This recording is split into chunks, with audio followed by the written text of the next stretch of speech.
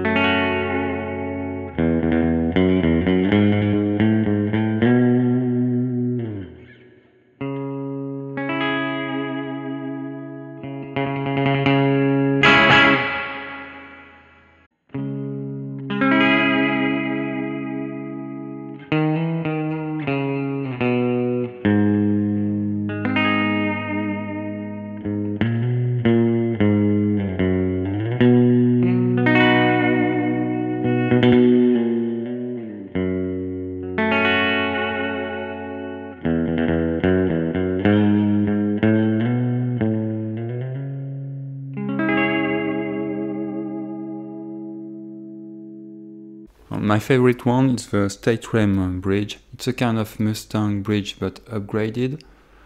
And I like the original bridge too. It's kind of lovely uh, how it sounds, how the um, guitar rings. I'm very curious to to read what you think in the comments. And I did a Patreon, so if you can help me to make better and more videos, I'm gonna post a video each uh, Tuesday. So see you next time.